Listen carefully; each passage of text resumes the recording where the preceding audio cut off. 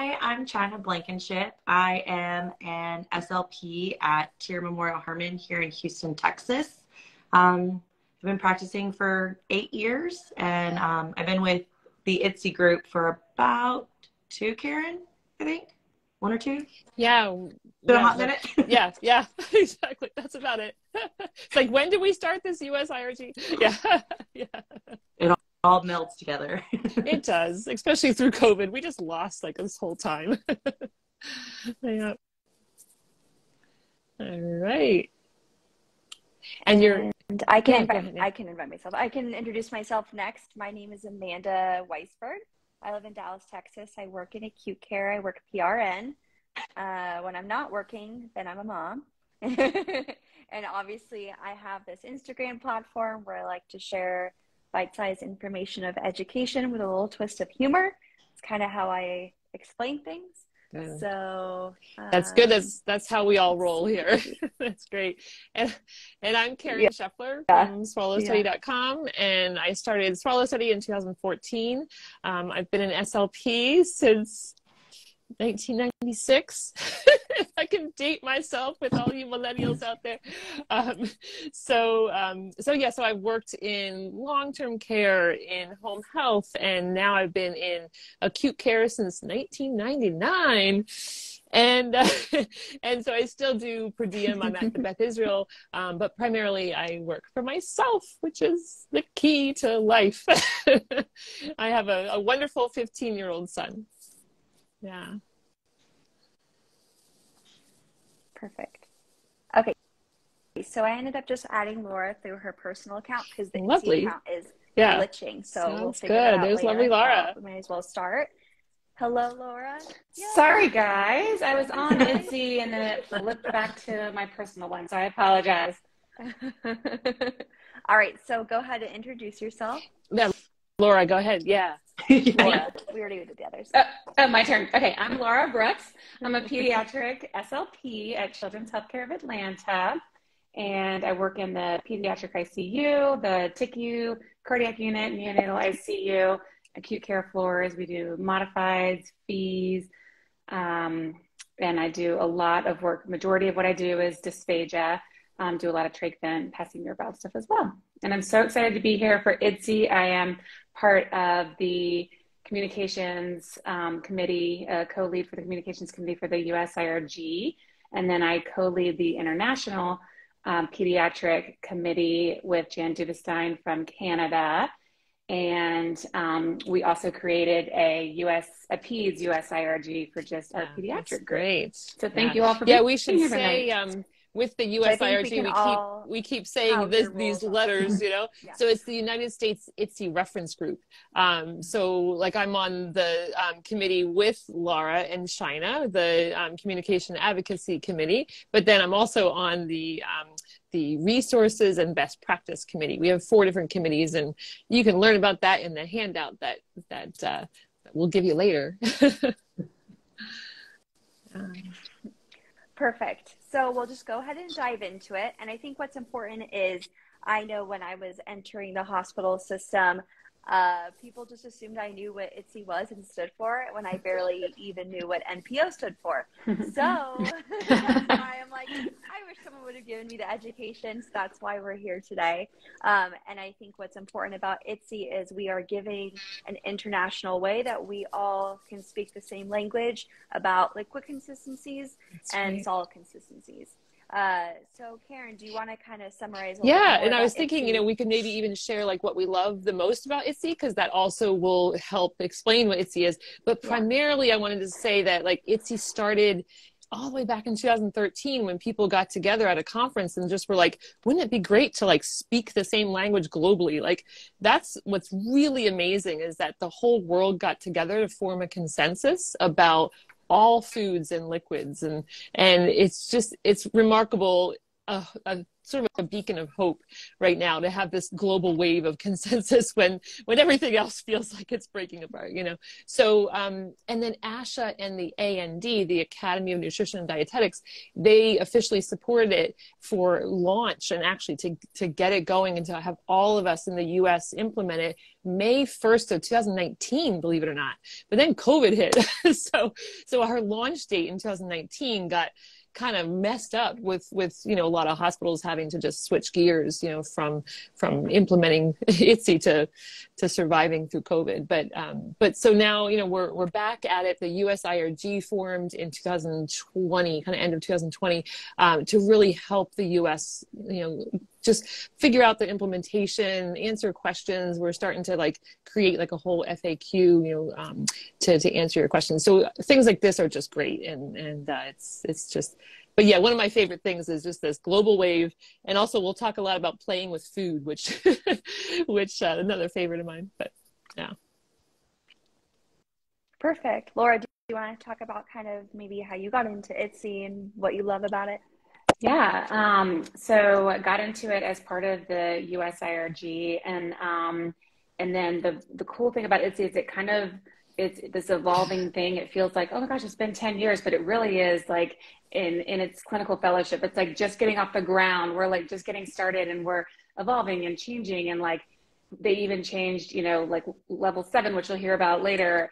Um, they're like, oh, there's this like gap between six and seven. Let's break down seven and make that make sense. So then they just changed the pyramid um, to make it make the most sense. So that's what's so cool. And then the head of IDDSI is like, God, I feel like this the pediatric issues are so different than adult issues. Why don't you guys form your own pediatric US group and we'll give it an email and we'll give it a name and you guys can just take it and fly. And then um, let's let's make this international too and learn from people in Spain and um, you know New Zealand. Like, what do you thicken your liquids with? What do you guys do with, with breast milk? Um, so that's what's been really cool um, for me is just learning from other people and getting together and kind of um, being a sounding board. But stuff like this is the best because we get our ear to the ground from doing things like that, and you know people hearing from you. That's like God, you know, I'm at this huge children's hospital and we're not even implemented at all. And you're like, okay, never fear. It's still early. At, least, mm-hmm. at least you can do syringes. You know, you can at least do flow testing. We can get you started there.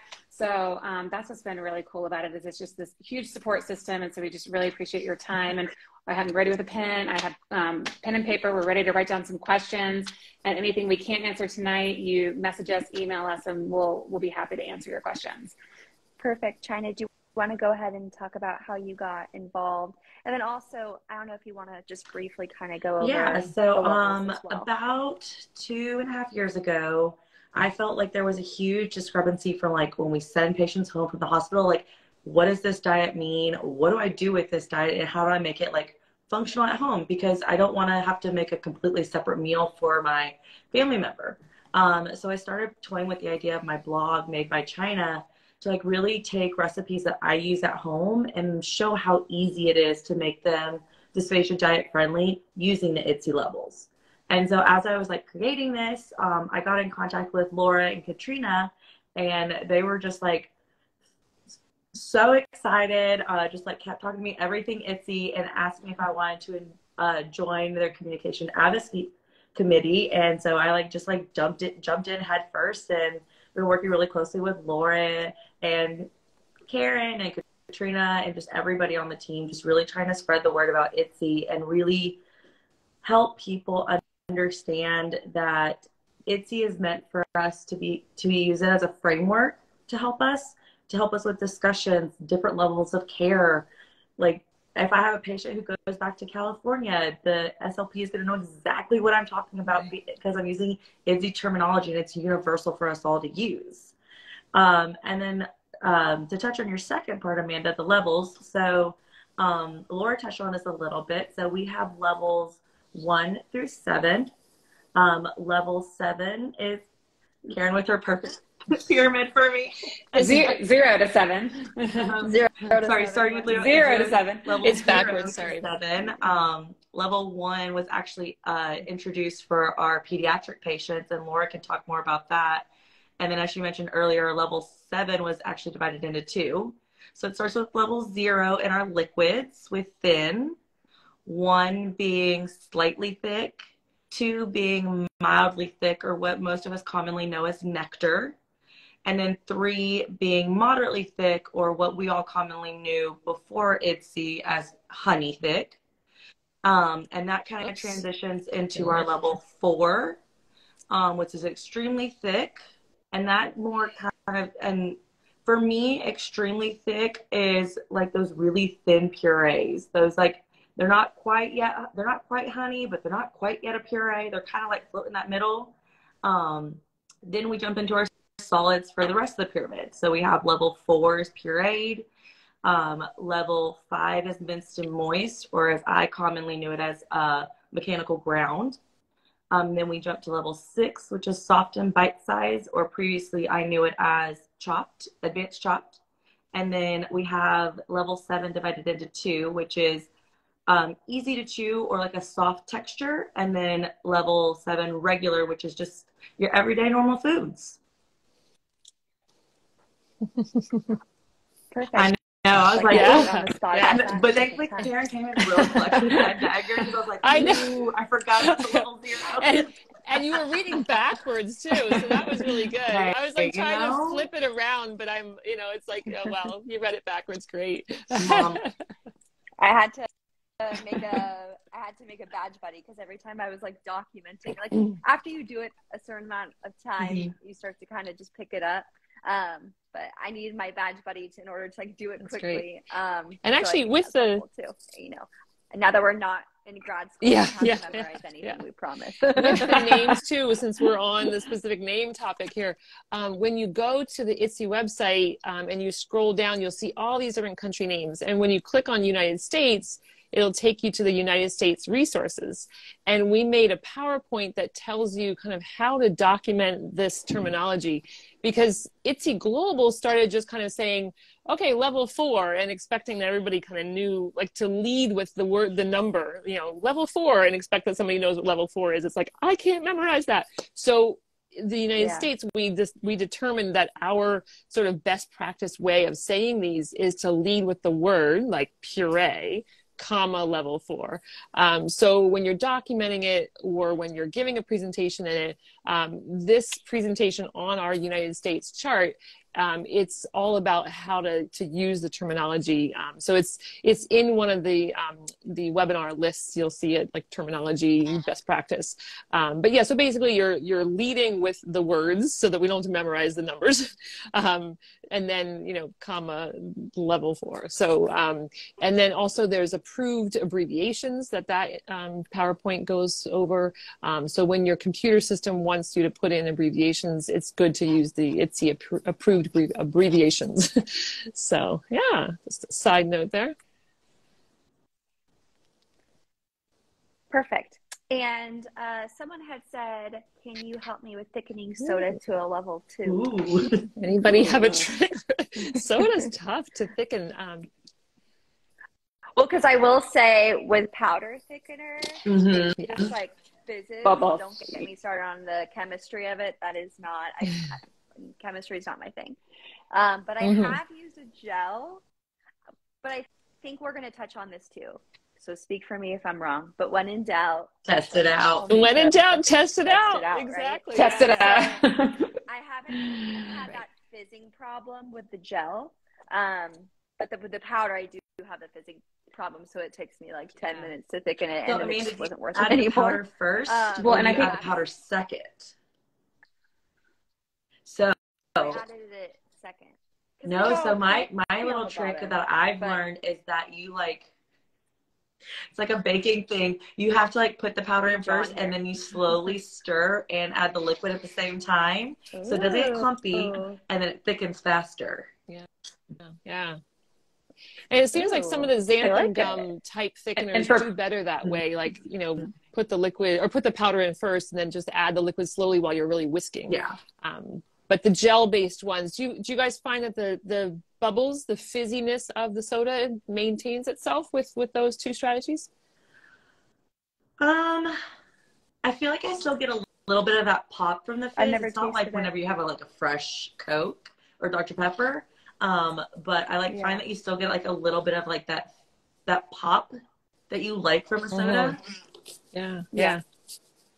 Because you stir the carbonation away. I feel like That's tough. carbonation Yeah, makes exactly. it a little caught in like Um, the stirring bubbles. I don't know. Maybe it's just me. Yeah. Yeah. So I guess our comprehensive answer is try putting the thickener on the bottom and going from And there. Or even trying if you do fees this is the easiest trying to test your patients with a carbonated liquid that's thin liquid.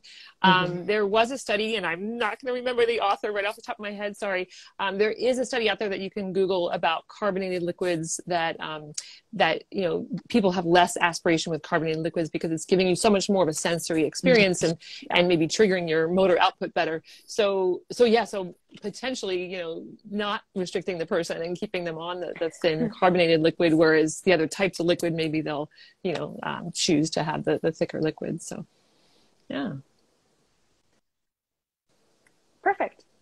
Okay, so we went over what it is, went over the visuals, and then Karen, do you want to talk about um, other resources that they can use, like the one? yeah there's YouTube just channel, so many resources which it's the hardest thing because it's you know on my blogs like people if you've read my blogs they're like ad nauseum you know just kick back with a big like glass of wine or your favorite cocktail because my blogs are really long.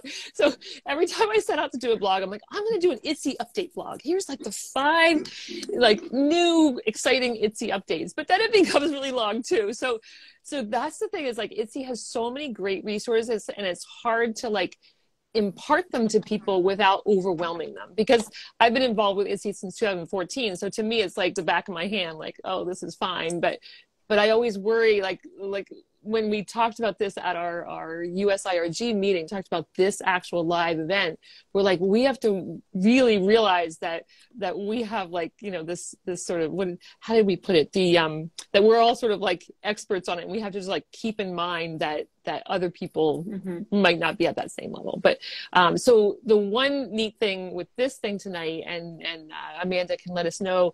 Um, I think on your link tree at the top of your your uh, Instagram page, um, you have a PDF that we put together. So the PDF is going to look like the one that I was holding up, um, just the the IDDSI helpful links. Um, so it's several pages of helpful links, um, and it goes through many things. One of the things um, that it goes through is the United States. Sorry, that's backwards, but you kind of see the the little symbols here.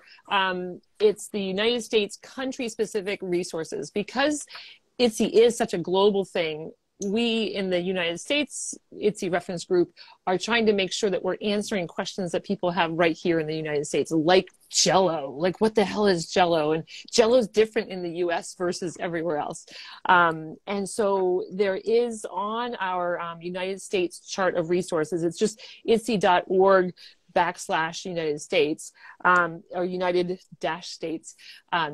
When you go to that chart, you'll see lots of, of great resources we have there. And like you said, there's 101s, 201s, and those webinar trainings that we have on there, they have competencies with them. So if that's one of the things that, that you're kind of struggling with when you're training staff, um, you can prove that you've trained staff by having them complete the competencies and things like that. So, um, and then also, of course, IDDSI um, main website has the resources tab, lots of resources in there. There's an IDDSI YouTube channel. There's an IDDSI app you can download. Um, and then you can always go to IDDSI, contact us, and you'll see the link for um, signing up for e-bites and everything. So you can you can keep uh, keep connected. The February e-bite just came out today with brand new information that the funnels are available. The brand new IDDSI funnels. We'll we'll get into that topic today. Um, yeah. So lots of yes. And you can follow us on Instagram, and we will update you um, all throughout the week on new things. And if you have anything to share, you let us know, and we'll, we'll be happy to post it. So we want our Instagram content to be really practical and really relevant. So definitely um, follow us on Instagram. It's the IDDSI, and um, and we can And you can communicate that way. volunteer too. Perfect. You can jump in and I was gonna say volunteer on and join our committees. Yeah, join our committees. Are you Right, attacking right. me right now? well, funny story. there, there was a dietitian who, who emailed our best practice, and, and she was asking, you know, how do I rate this Jello? How do I describe Jello at my my place? We're like, well, join best practices, and you can help us write the answer to that FAQ. Thank you very much. so, like months later, we finally put out the FAQ. Perfect. So, yeah, yeah, yeah. Organic acquiring. I like it. Um, to show Lauren, that so- to say that jello is just right jello is just wild and unpredictable and it's what you think jello is going to be like it's too slippery Yeah. it's going to be Yeah, scary it blew our minds. We thought, right I, I mean, you know, I've been in this field since the 90s. So I always thought that Jello was like, oh, we don't give Jello because it thins out to a thin liquid. That was like, and you know, this is what we have to constantly be doing in our field. Like the things that we've always known, like bust that and figure out something new because for years we mm-hmm. were always like, oh, Jello thins out to a thin liquid. And we tested so many different types of Jello, even homemade Jellos and product Jellos and all these different things. And we tried the transitional food test to see, you know, is Jello really a transitional food? Does it really melt down to a thin liquid? And none of the products actually ever did that. The only thing about thin liquid with the Jellos is some of the products will have like a thin layer of water or liquid on top. But then one of the main things is that a lot of the jellos didn't even pass a fork pressure test. They were firm and nasty. And then when they did squash, they like broke into little bits and, and almost like brittle pieces, but slippery pieces. So so one of the main risks with jello is is oral control, bolus control, and you're going to be like losing all those pieces to, to everywhere. And um, but it's a wild west. It's like there was so much variety. Every single Jello was acting totally differently. So that's the problem. There's just so much variability, and it's it's a weird thing. What? We need a whole. We need to just, like, rip episode apart Jello. But you know what? Let's do Jello we'll shots move to make on, we'll sure that we all have Jello on. shots and test our Jello when we do that episode. yeah yeah yeah there you go Exactly. we'll move on. Okay. Okay. Okay. So, Laura, we had a question about um, someone's facility having a hard time differentiating uh, soft and bite size level six, uh, easy to level seven. So, how could they kind of navigate through that situation? Well, so um, I'm going to be visual like Karen because when you go on the IDDSI website um, and you just type in, it's very user friendly to go on the website. Um, Mhm. And But- that. and the app, yeah. Um, but what's what what probably my favorite part of the website is you go to the search column and you say you click it, you type in patient handouts, and they literally have one column for adult handouts and one column for pediatric handouts, and there are like so many colors and they're so pretty. And what's so great about it is it describes the different sizes because I don't know if you guys know this, but you can tell um, if you compare the adult handouts to the pediatric handouts that the sizes of the foods, um, minced and moist little bits for um, pediatrics have to be smaller than adults. For adults, it's like the pieces are the space between the fork tines, and for peds, it's um, half of that size, and it's just to, to because of the pediatric trachea being smaller. So um, the soft and bite size, they have like a little, they have the testing methods and everything, and then it has, um, you know, it has to be eight millimeters by eight millimeters, which you're like, well, we don't. I don't talk in Mhm. millimeters. How much is a millimeter? um, well, they, you, you know, you take your you take your fork, and then it tells you based on your kind of everyday fork um, how big an eight millimeter by eight millimeter Ah. piece is. So that's the the soft and bite size. And the um, the interesting part, so you can learn about that, and it has it has kind of like do foods, and then it has don't foods, like foods to avoid. Um, and I think that the biggest difference, um, what what differentiated the easy to chew from the regular, and I think that's almost the biggest differentiation is that they kind of broke it down where foods that are too hard, too tough, too chewy, too fibrous, have stringy textures, those are the ones that they can't say um, a level seven. Not every level seven person can handle that. They're just a little more complicated. So um, they have examples of those foods. It's actually the easy to choose four pages long.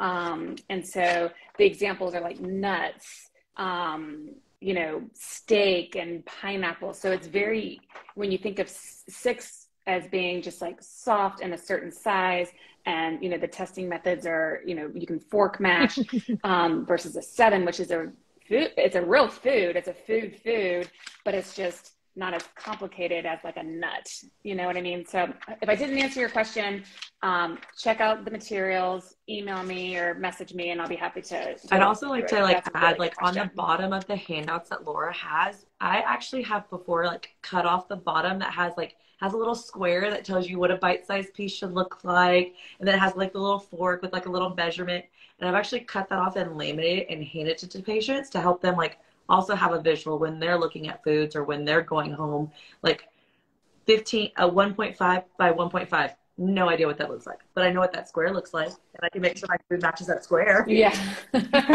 make sure whatever i'm going to give a bite totally. bite size matches that little square okay we're good to go let's move on Yeah. Yeah. How big is a That's the problem with the US, right? Yeah, yeah, yeah. don't use the metric system. Sorry, don't so, know. So here I am with my props. I love props. so this is 1.5 by 1.5.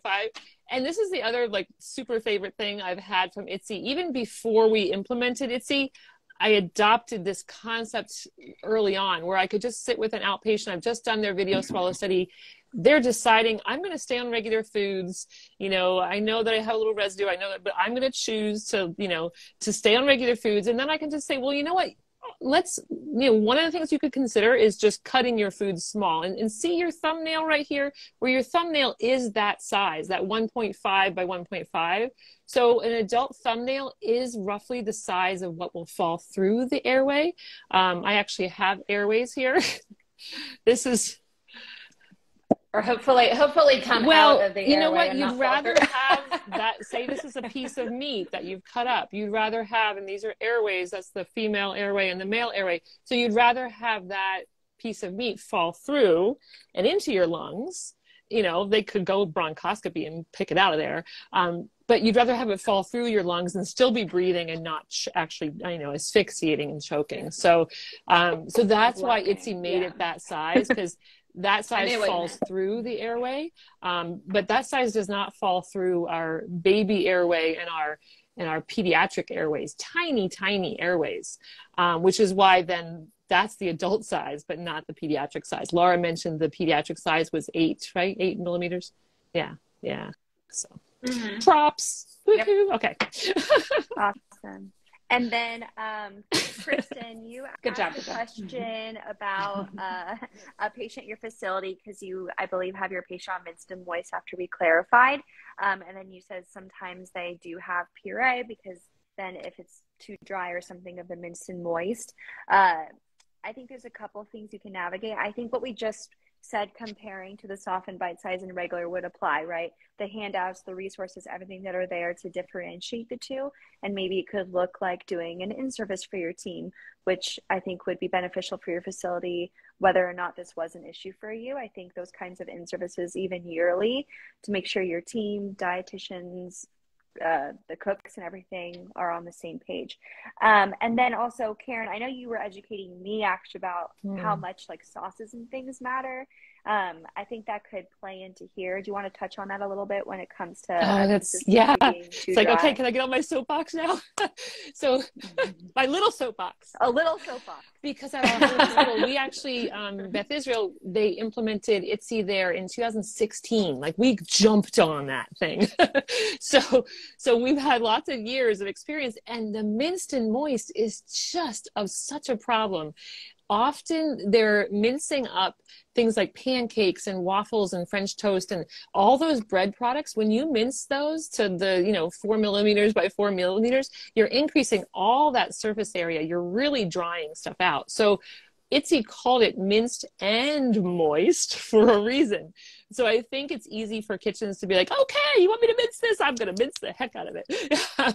but then it's like literally, like I've taken pictures of it and I've always shown these pictures in my webinars and stuff, like literally a plate of crumbs. Like, you know, I've, I've had people, I've had people that like, you know, they were on Yeah, yeah, it's minced. Um, it's minced. I've had people that they, you know, that they, they actually do better on something like soft and bite size that's like nice and moist and has lots of sauce and, and, and actually passes a fork pressure test and all that um, than they do with a plate of dry crumbs. You can imagine, you know, it's just like you're going to sip your, the, your cocoa and you've sprinkled some dry cocoa on top and you're like sipping it and you inhale and like you're like inhaling powder. So nobody wants to inhale powder. So so yeah, so minced and moist, the the um you just it's gotta be moist. And in the soft and bite size, it's gotta be like fork pressure test soft. And then the word cohesive, I just love that word and um and you can kind of describe that also by mm-hmm. just making sure that everything is kind of bound together in a moist um, nature. And and we do have an FAQ about sauces um, in our US uh, chart there. because um, you know you don't want the sauce to be so liquidy that it's just you know, separating all out and not actually binding to the food and keeping it moist and cohesive. But, but yeah, be liberal with sauces. And a lot of times head and neck cancer patients, they really need a slippery nature to food. Um, I had a little old lady that was just like, I add olive oil to everything. I'm like, great. That's, you know, healthy. It slides down. And, you know, so there's, you can get really creative with sauces. I, I love that. Yeah, I had someone tell me to take pills with olive no. oil. I'm like, you're not wrong. Not really. Yeah. yeah. Yeah. And we should go to Italy. okay. So uh, let's quickly just show the whole uh, syringe, yeah. letting go of the finger, all of that. Because I know when someone first told me, I was like, I held the syringe, of course. Oh yeah. The end. Yeah, yeah. When, when like, so when do you start it? So you can see, um, holding that to the camera. This is the new um, IDDSI funnel, and then my um, my old um, BD syringes. Of course, the BD 10 ml syringes are going to be pretty easy to find at your hospital and free. You can like snag a bunch and send them home with your patients and stuff. Um, and you can also encourage your hospital to start buying the um, funnels because they actually give you all the information that you need on here, um, where the slightly thick level one there is, mildly thick level two, and then the moderately thick or liquidized level three. Um, so yes, yeah, so I'm gonna uh, just show you pouring into here. And that they made this funnel, um, you know, broad across the top so that it is easy just to kind of pour in one shot there. You fill it up to the 10 ml line there. And who wants to give me like the countdown of uh, 10, 9, 8, 7, 6? Of course, you can use like your stopwatch, but I'm on the phone right now. So. I was like, ready? Oh, all right, okay. ready, go. A little late.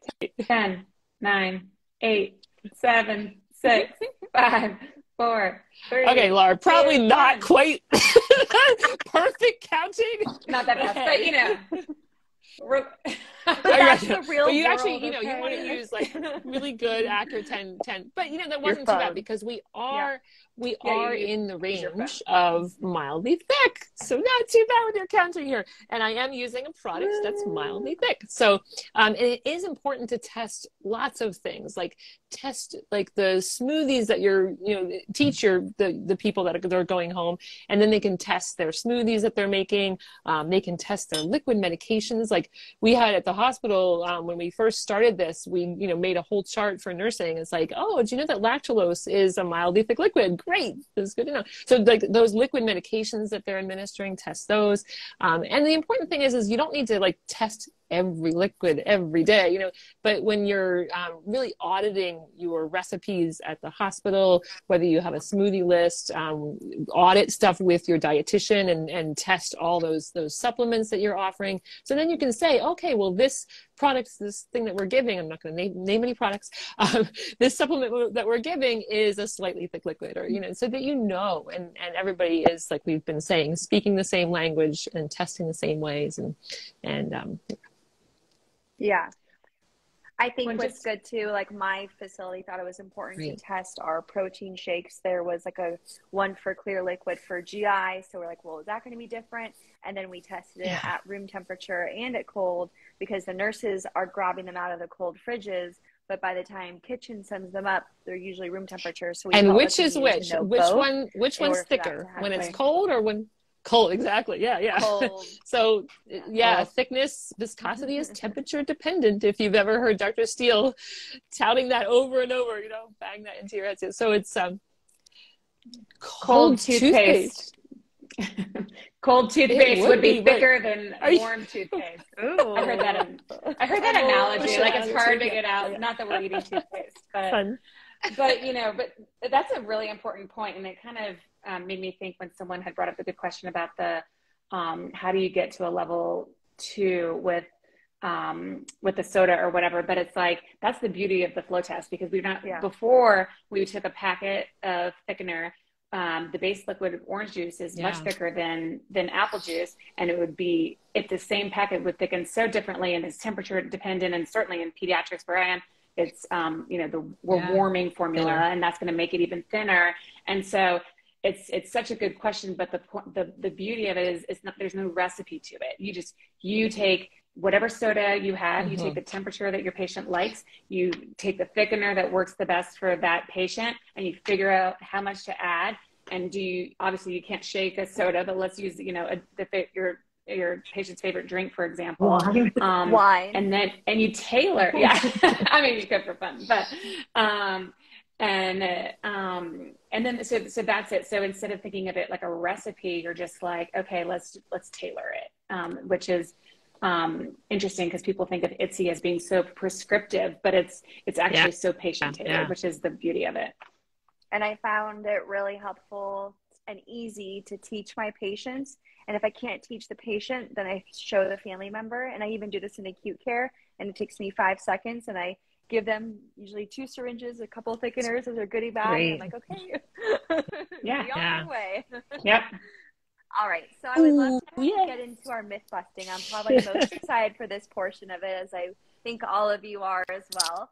Um, so let's go ahead and get started.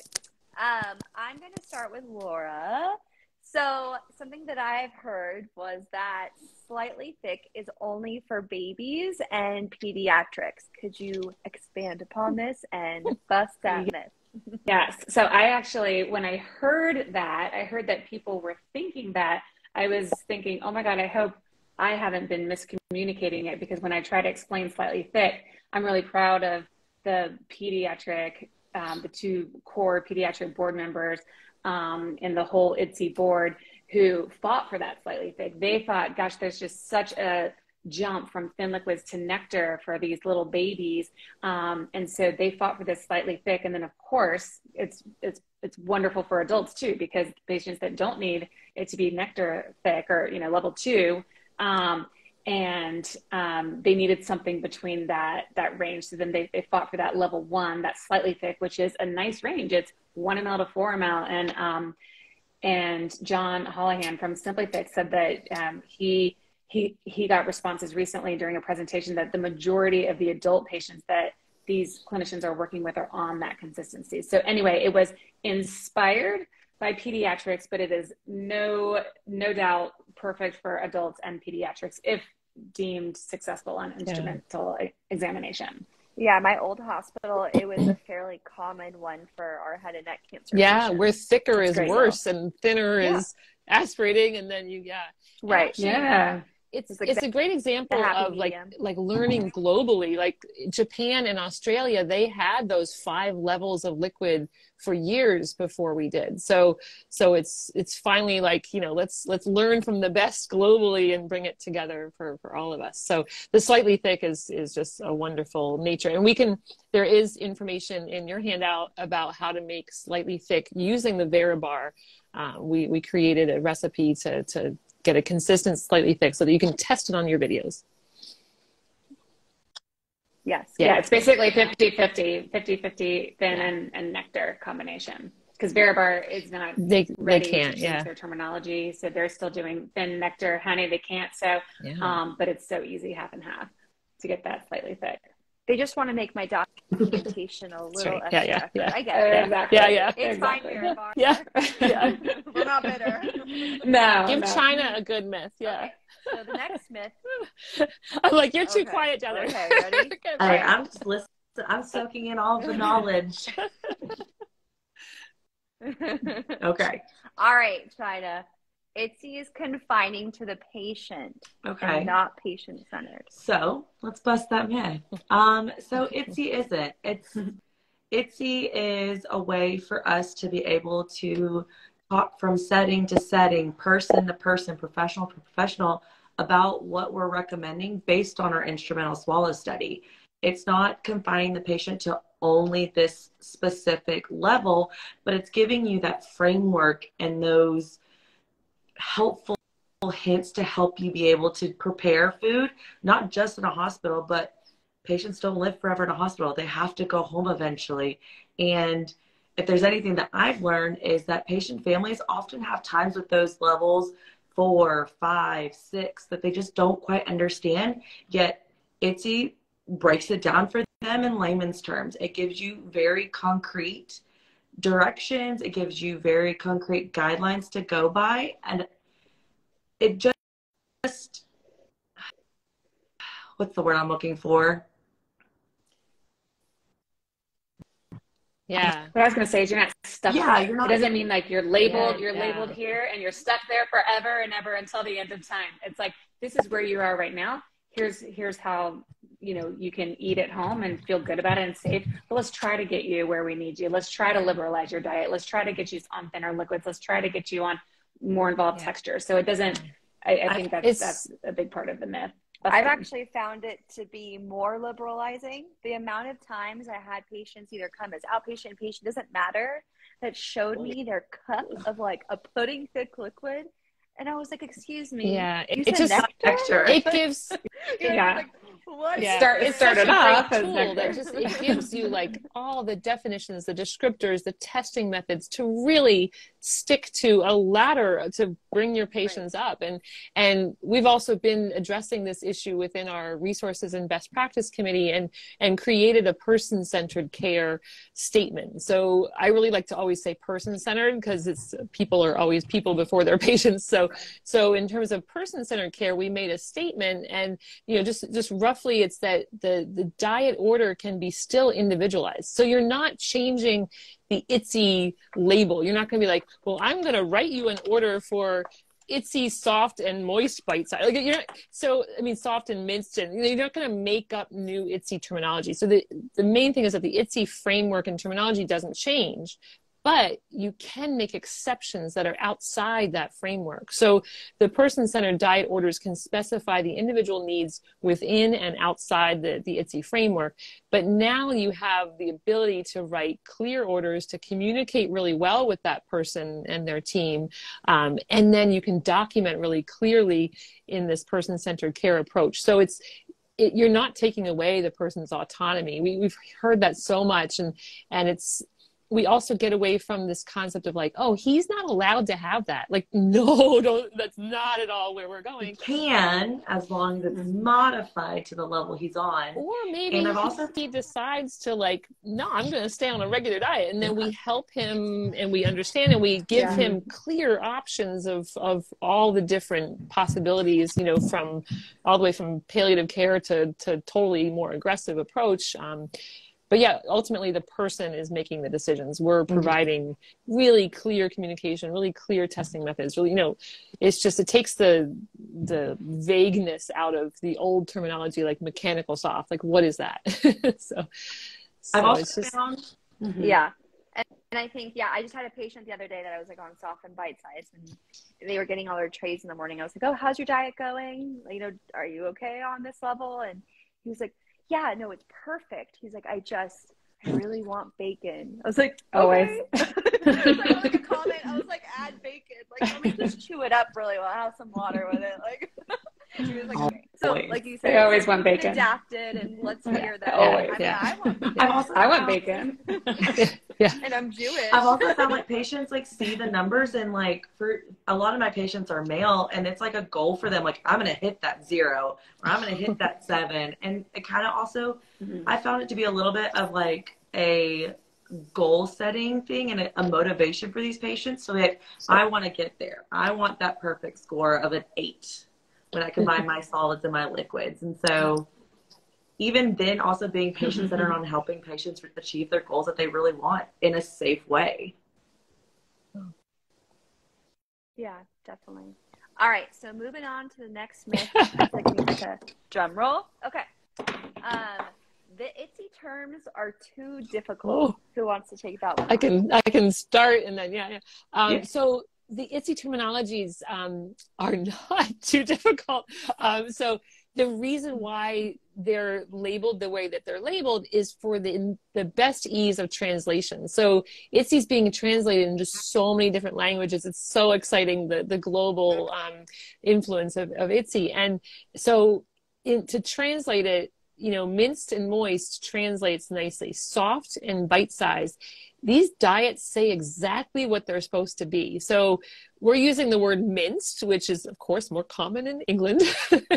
um, but but minced was better than ground um, in terms of it translating better as well and and being more of a global terminology. Um, but I love the way soft and bite size it tells you like oh yeah remember soft the fork pressure test bite size remember your particle size you know so it's it's a choking mitigation with that that bite size piece.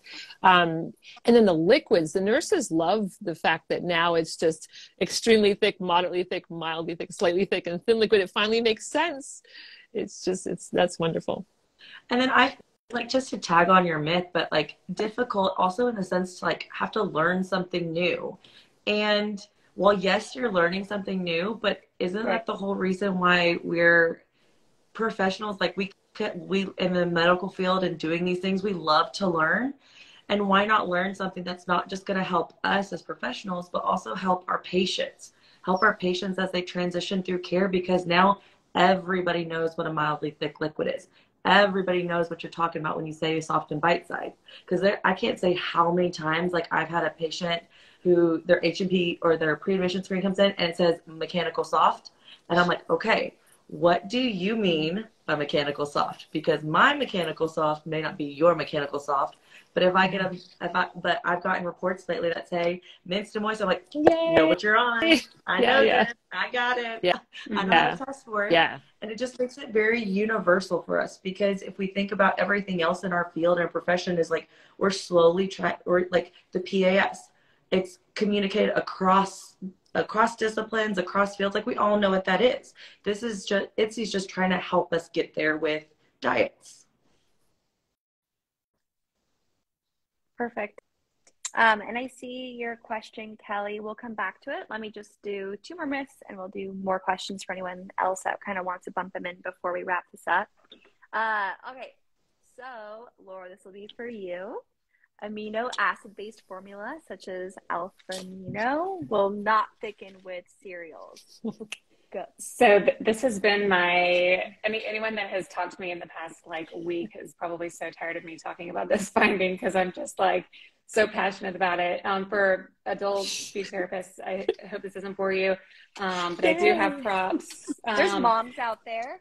If yeah, exactly. If you're a mom and your- baby has had you know, spit up and stuff, and then this might ring ring a bell. Yeah, exactly. So, um, but to, so to to somehow we just like heard something similar to like Jello thins as a you know transition that starts as a solid and then it moves to a thin, and then we busted that with um, IDDSI. So the um, there's this just like terrible rumor that if a baby is on um, elemental formula like Alfamino, um, that it won't thicken. And so you just hear that and you hear these big, big time docs say that, and then you just start to believe it, and then you start saying it too. And then you're like, "But I've never even tested it before. Um, so I tested Alfamino with um, rice cereal and with oatmeal, and it tested and it thickened great. It thickened great at five minutes, and then it thickened great at 20 minutes. So the rumor is saying that if you're on this um, on this formula, you have to use gel mix, which is um, very challenging. It's very temperature sensitive. I mean, gel mix is wonderful because it thickens breast milk, but um, but um, that's a lot for a family that's paying money for this elemental formula, and then they have to add gel mix to it, and when they can just simply use a cereal. And if you're wondering what an elemental formula is, that's where I Yay. have this for you. So I came up with this idea. Came up with this idea today. So this is a strain of amino acids. So this is cow's milk protein, right? If you cut it and break it down and make it a little bit smaller, then you have a partially hydrolyzed milk. So you have maybe your like Gentlease, right? And then if you break it down even more, then you have your extensively hydrolyzed formula, kind of like alimentum, and your gut can handle this small little chain much better than it can handle this chain. And then if you take it down to the actual amino acid, the building block of a protein is an amino acid, and you have your amino acid. That's your elemental formula. So that's your EleCare, your L now. Oh, I Um, love isn't that it. great? Isn't that a great visual? Round of applause. You're welcome. You're welcome. Where were you when my daughter was on Wow. the reflux? Okay. well, and so that's and that's what I'm so glad you said that about reflux too, because that's what's super cool now. Um, there's this big push to get away from um, infants um, for for medicating infants because infants infants drink milk. Milk is a base. They're drinking every two to three hours. Their stomach is not acidic. There's nothing acidic that's coming up. If you reflux, that's a problem because that you know you could choke and you can aspirate, but the acidity is not the problem. So what's really cool is that a lot of GIs are um, using thickened liquids now um, to um, kind of help add gravity and help keep it down, which is super cool. So you can use if a patient's swallowing fine, but they need thickened liquids for um, reflux purposes, you can you can implement IDDSI, you know, in that way too.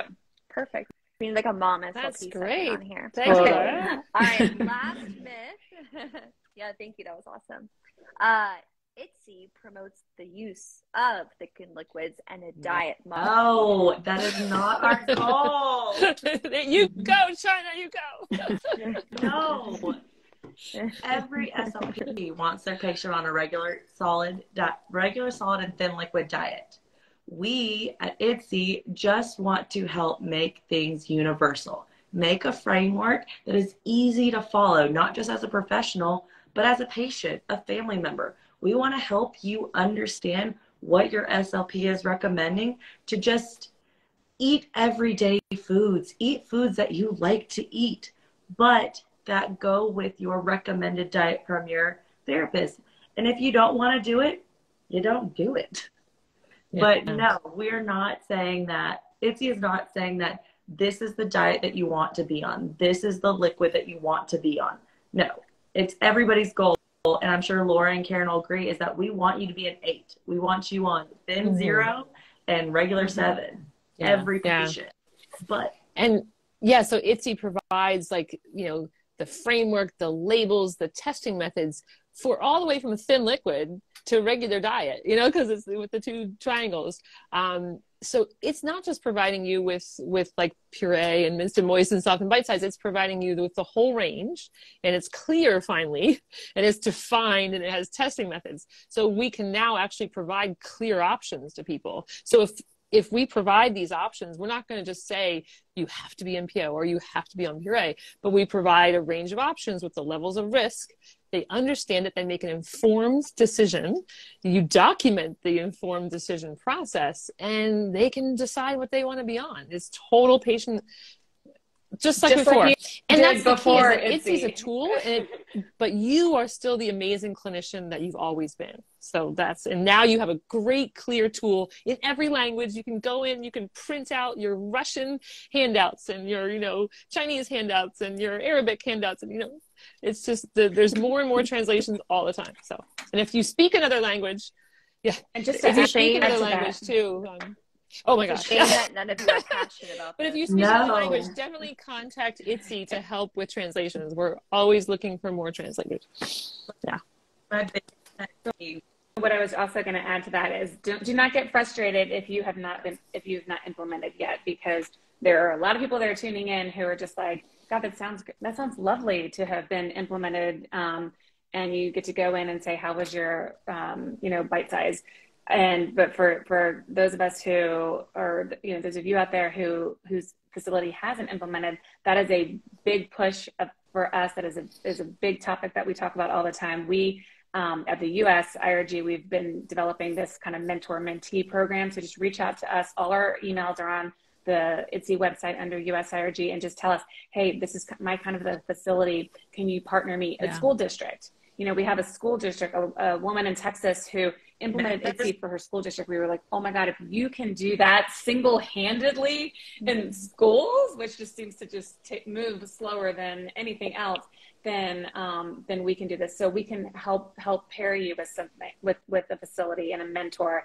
um, to help you advocate for um, implementing IDDSI in your facility. Perfect. And while while we're talking about implementation, I think this is a perfect time to bring on some questions because a lot were about that. Uh, one of the questions I got were tips for a CF training her facility on IDDSI, which I feel like kind of ties into that. I'm getting a lot of like, where do I even start? Mm-hmm. So I feel like those are kind of in the same bubble when I talk about in services and training. Um, and I think it was great that you're reminding everyone that it, you guys can be a resource directly. Like there's actually people behind a website. Um, like I know that's really great when I have ever reached out to other SLP companies that have kind of guided me uh, to acquire their products or their framework.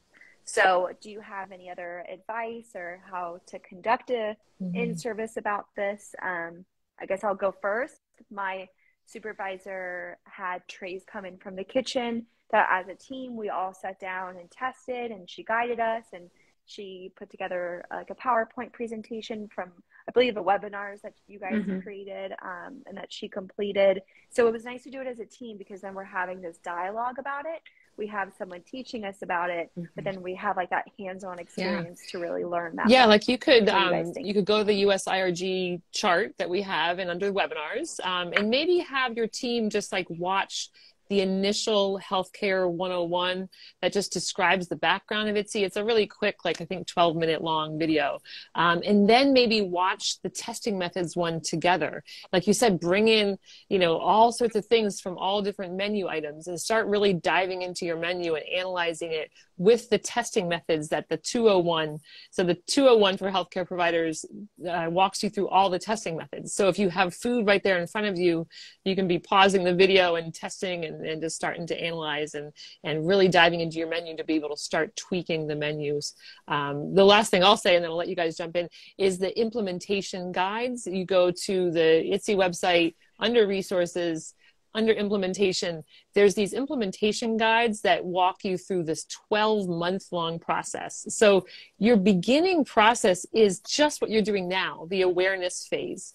Um, so you're just gathering information and then you're preparing and then you're eventually adopting IDDSI. But literally that's going to take you 12 months, if not more, you know, two years really to fully like kind of iron things out and troubleshoot and stuff. But yeah, go ahead, you guys. Yeah.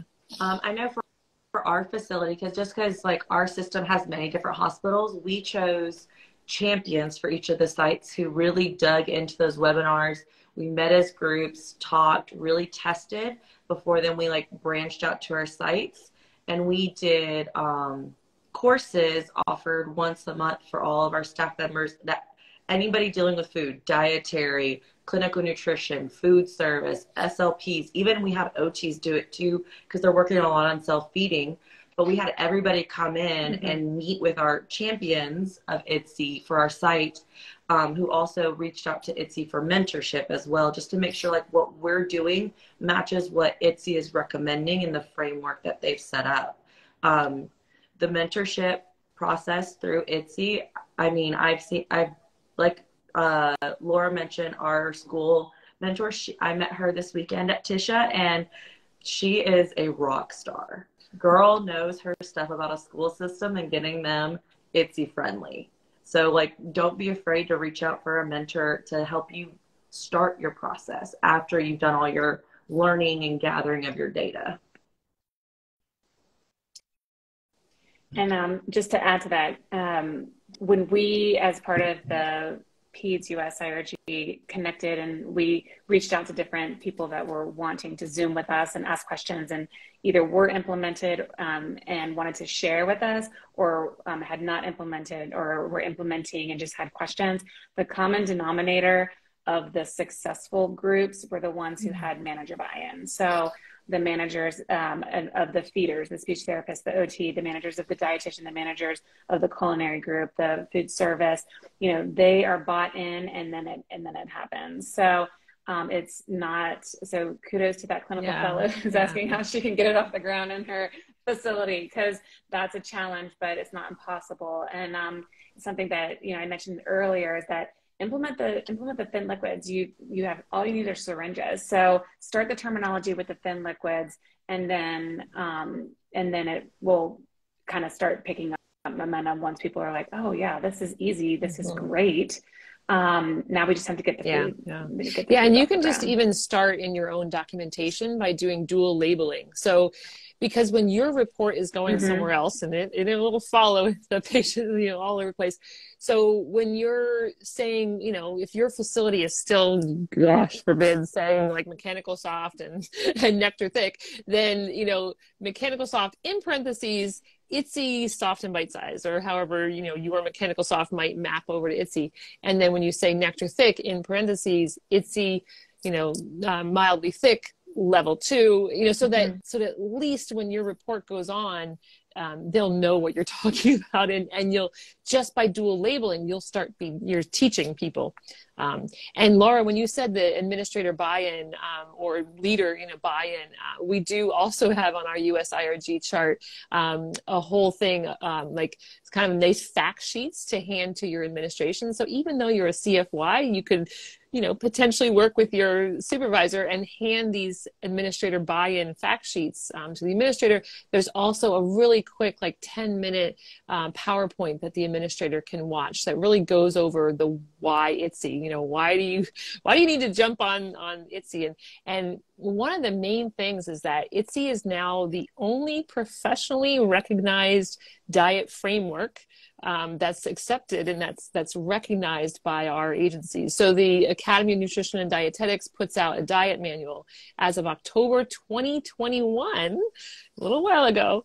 It was the only IDDSI is the only um, professionally recognized uh, diet structure out there. So if you're using something different, you're you're not in you know just general compliance with the rest of the profession and what the professional standards are.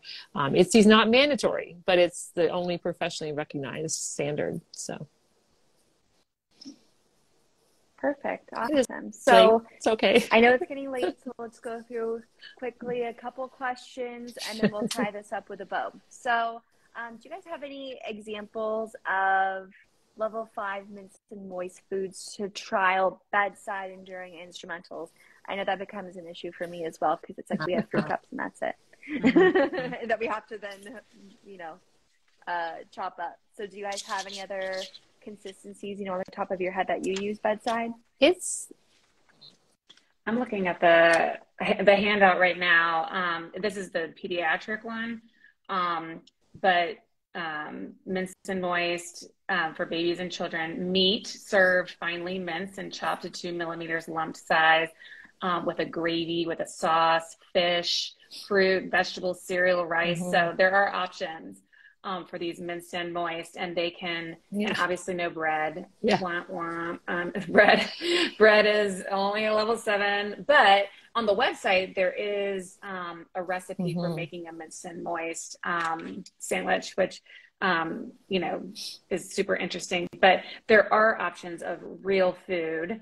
Um, not a lot that you can just kind of grab off the shelf at the grocery store to test for your um, swallow studies. So I get that that's a little tricky, but if you wanted to order a tray and then try to use that that food during your swallow study, um, then then you can do yeah, it with real it's food. such a problem. Oh, yeah, I, I was just going to say it's such a problem. You know, our video swallow studies back when Jeri Logemann designed the modified barium swallow study, it was with a Lorna Doone. It was with a cookie that had a little bit more substance to it. We've had to dumb that down to graham crackers for years and years and years because that's just what the hospital gives you mm-hmm. on the mm-hmm. floors and in your radiology suites. Graham crackers are almost a transitional food. If you suck on it long enough, it is dissolving in your mouth. So a graham cracker is never a good idea if you're actually wanting to know can this person actually tolerate regular diet. Um, I do like to grab bread for my video swallows to test as well. And then on the floors, you know, some people, testing bread on the floors could be really risky because it's a high chokeable food.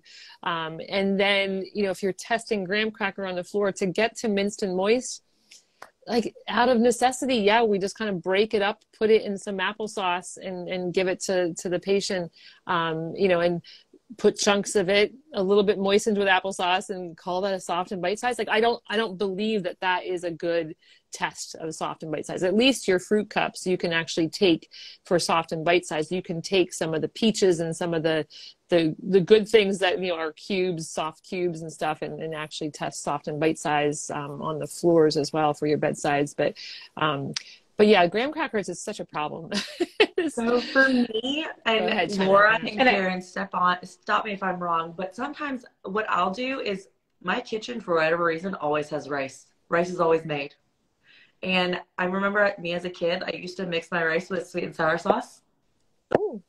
So I have done that with patients, yeah. like just like a quick, like what's easy to grab and probably already ready is rice and sweet and sour sauce. Wow. The patients love it. Oh. I've also done. Um, and so your rice is it's soft mm-hmm. and it's mm-hmm. the it's less than four millimeters, and the minced and moist can be as long as fifteen. Correct. Um, so you know even if it's a longer grain rice, as long as it's soft, and then you're making it moist and cohesive with that mm-hmm. sauce. So that's perfect. Wow. And a thicker. Yeah, they say like a thicker yeah, sauce. So yeah, I use sour sauce and rice because cool. kitchens always have the little deep dipping sweet and sour sauces. And then I've also used um, uh, yogurt that have the the fruit pieces in them to try try and a little bit more. Yeah. Oh, that's a good idea. Yeah. Mm-hmm. Oh, right. And then you just like on the bottom, it, really mix it all together, and then um, you give a little bit of like where it requires some mashing, but not chewing, but give but like makes yeah. you have to do a little bit more than just like a regular yogurt. I've done those two things that are just like quick grab and goes. Um, instead of having to order a whole tray yeah. kitchen. I wish our and this is just on your floor, like if you're in the ICU and you go to your ICU little nourishment kitchen, or do you go downstairs to, to a kitchen? To the, yeah, I go to our cafeteria, cafeteria. but honestly, our, it's like it's so, for me. Like, yeah, it would be nice if it was on the floors, but the cafeteria you can just like zip down and zip back up. So I feel like it's like yeah, yeah. that is like really easy. I miss that. I miss working at a small hospital where I could just zip into the cafeteria and deal with stuff now I'm at a huge hospital. I, you know, to find the cafeterias on the east and west campuses that are like ginormous. I mean, it's that's it's a lot harder. So the the logistics on the floor out there for people, it it is is tough. And I will. Well, what I also do. Our, oh, also do stock a little oh, I, I think it's in really in the fridge, so those are always easy to grab and go. Yeah, I wish we had that. Yeah, it's great. Um, I do also want to say that some of our haters and some of the people that are like, oh, it's, so prescriptive, um, think that we're literally in fluoro testing 20 different kinds of foods. And we're not. We're using our clinical judgment. What are their chewing abilities? What are their bolus control skills? Like we're looking, we're, we're using our clinical judgment. So you don't have right, to test right. the perfect food and say, that's exactly what it, we need, you know, so we're still, we're still right, doing what right. we usually do as clinicians. Yes. That's perfect. yeah. my mouth. That's what I was mm-hmm. going to say. I was going to say for your clinical bedside swallow, for your fluoro, for your FEES, whatever. Usually I'm getting enough information, whether I'm even holding to MBSImP or I'm doing some diced fruit in a yeah. pudding. Yeah. I can usually figure it out. And then once I talk to the patient, and honestly, rarely too, rarely do I I need a patient on a puree and not a mince and moist. And then even between that mince and moist and soft and bite size. So usually into that clinical picture is then the patient's yeah. judgment and what they think mm-hmm. would be also appropriate for them and realistic too as well. You know, if I can yeah. kind of teeter between those two, I'm, I'm definitely text, testing a puree or a pudding. I'm definitely testing a more mm-hmm. softened bite size and a regular great. solid. The so last thing to that, last thing so that's so to add to that is to in order yeah. to not be overly restricted after we you know you know give our, our uh, recommendations or our options um, if you actually test a mixed consistency and you test bread in your FEES or in your video then you won't be so restrictive. Maybe you guys have all decided we're going to have um, soft and bite size um, but then we're going to say, but may have minced, uh, or sorry, um, mixed consistencies and may have bread because we just tested it on the video and, and they did great. And sometimes they might be able to fully jump all the way up to a regular, but maybe the person gets fatigued a lot and you, you know he's decided to stay on soft and bite size but but if you've tested these things um, with instrumentals then don't be so restrictive and and actually jump up to these things that are harder. Because typically uh, mixed consistency and bread are only on the level seven but but um, but test them and don't be so restrictive. Yeah Um, and is there a specific email you guys know that we could share that people can reach out with questions? Yeah, What so the um, the IDDSI um, there's of course an IDDSI email, but if you if for specifically for the United States, it's the USA at IDDSI.net. So USA at IDDSI.net. And that one is in the handout that that you'll see on Amanda's link tree, uh, the PDF handout. Um, under the US section, it is there too. Perfect. Yeah. So, um, a lovely compiled list uh, by Karen for links are in my link tree, and we could even probably share on the IDDSI Instagram Yeah. as well, or at least like in a story. Or And you're you guys and you're gonna make me a linked tree uh, on a mine. Yes, I am. When I make Karen her link tree, it'll be there as well. yeah. Perfect. Um, because I know there's a couple other questions, but they all have similar themes about implementing and what does Mm. you know what is liquidized and how Mm-hmm. Mhm. what about a pudding in a yogurt and but I, I feel like once the information is deciphered of the resources Yeah. that we've kind of touched on um, and then if there's any further questions you know the email dms everything Yeah. is always open and i think and i would hope that all of our followers can see that the three of you and i'm sure everyone else involved Yeah. is more than happy to help you and clearly Oh. not passionate about it And we're not- all. we're not- so No, We're, we're really quiet. nine, ten. yeah Yeah, we're very wallflowers, thing, when you wallflowers. post this, I'm assuming this uh, recording will be posted on your Instagram. Um, we can keep an eye out on comments, and so when we see in the next couple days some some comments, or when when we plug in tomorrow morning and we see all these these comments with questions, uh, we can the three of us can go in there and be trying to answer as many questions as possible. So, um, or just message us on our Instagrams. And Yep. yeah, don't forget to ans- don't forget to don't feel like no one's gonna answer you if you Join. DM us on the Instagram. Uh, Laura and I run the back page, so we definitely see it. Don't worry. on the IDDSI, the IDDSI Instagram. Yeah. Yes. Yeah. Yeah. Yeah. Yeah. Well, this was Okay, great. well, thank you, Sheree, so much for your brilliant Thank minds. I hope that you know we will all speak the same food and liquid language at some point. You know, they do have that thing, right? That research takes twenty years. So you said Ten years? 2013. So yeah. we have more till years? 20 Yes. Happy, happy mm-hmm. IDDSI 10 more anniversary of 10 years. Yeah. But yeah, well, another 10. Perfect. Thank All you, right. Amanda. Thank Thank you. you. for setting this up. And thank you to everybody who carved out time in uh, your busy evening to join and Yeah. learn and ask questions and listen. Um, so we're here and um, maybe we'll see you again in another. And maybe I will see anybody session. at DRS in a couple weeks. San Francisco. All right. Thank you so much, Amanda. All right. All right. Bye.